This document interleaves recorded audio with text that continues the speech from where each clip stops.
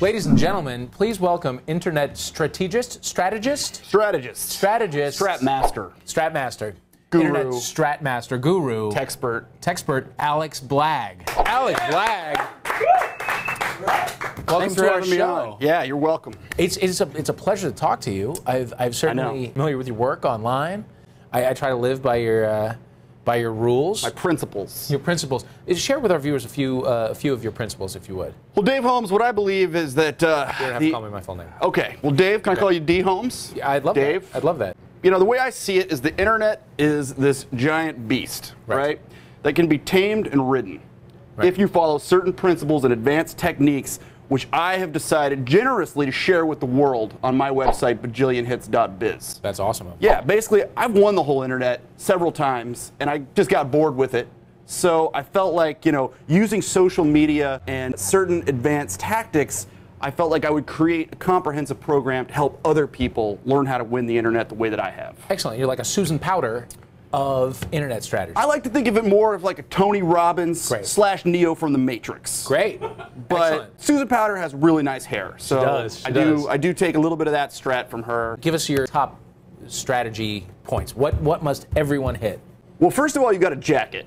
Obviously. You got to jack your strat. Right. All right. Strat is the most important word that there is to this whole thing. Right. Which uh, it started out as you know an abbreviation for strategy, which that's a lot. That's a mouthful. Strategy. Three syllables. I don't have time for three syllables. Uh-uh. Strat. Yeah. Simple and clean. Certainly. So Strat, you know, also came to sort of represent everything about using social media to create the ultimate projection of yourself online, right? Right. So instead of just being regular old Dave Holmes, you can now leverage Twitter to blast out updates about what kind of cool stuff you're doing that's going to give people the impression that you're even more successful you are, thus jacking your strat. I'm doing that. I got that one. You got that? Yeah. You're going to get more and more followers. Your influence and your digital footprint is going to grow and grow. Before you know it, pretty much the whole internet's looking to Dave Holmes for what they should be doing. Already. All right? Right. And then so what you've done is made yourself into a personal brand, all right, that you can then monetize and exploit in a number of ways. You would think that the uh, that the Kardashian family would have this whole thing figured out, but as we found out, they tried to cure AIDS and they couldn't. They couldn't do that. They couldn't cure AIDS on Twitter. It was their first misstrat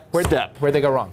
Uh, well, first of all, Kim Kardashian didn't realize the fact that many people had had enough of her strat. Right. And just didn't want to hear from her anymore. They assumed that people would get behind and support uh, bringing her back onto the net so that she could blast out more tweet updates to her various products Right. and personal endorsements. Right. But somehow the, uh, the internet had moved on. She was oversaturated, oversaturated. perhaps. Oversaturated. That's Right. a great word, Dave Holmes. Thanks, thanks. Yeah. Write it down. Tattoo it on yourself. I will. I got several tats, all right. Let's let's have a look at Strat my- tats, right Strat there. tat. Yeah, that's me as a child on a computer. Right. All right. And what I'm doing basically there is just I'm mentally projecting my excellence into the machine. That's Right. how the internet was invented. There, yeah, that's right. Right There there. was no internet. That's not. That that's is not- the moment the internet was invented. There's not right even there. a modem. No. Steve Jobs had created an Apple IIe. And I saw that and I saw Strat. Right. I was like, you know what? I'm going to create this whole network by which people can communicate with each other and then pretend to be even better and cooler than they are using a vast network of media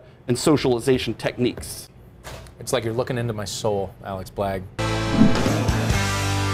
There's nothing that's humiliating or that, that shouldn't be shared and put into the net. So if you're smoking salvia while listening to Bush and eating some frosted flakes, you get that out there onto the web. Absolutely.